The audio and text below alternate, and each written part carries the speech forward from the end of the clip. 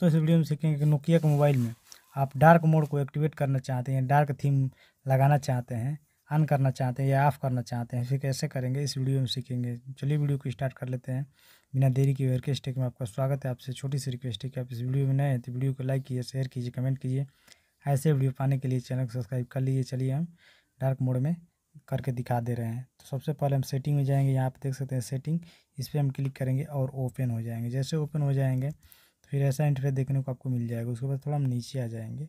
और आने के बाद से यहाँ से आप देख सकते हैं एसेसिबिलिटी तो एसेसिबिलिटी वाले पर हम क्लिक करेंगे, जैसे क्लिक करेंगे, फिर ऐसा इंटरफेस देखने को आपको मिल जाएगा। उसके बाद यहाँ से आप देख सकते हैं डार्क थीम इसको चालू करना चाहते हैं, यानी ऑन करना चाहते हैं तो इस पर हम क्लिक करेंगे तो ये चालू हो जाएगा। आप देख सकते हैं, ये डार्क मोड में हो चुका है।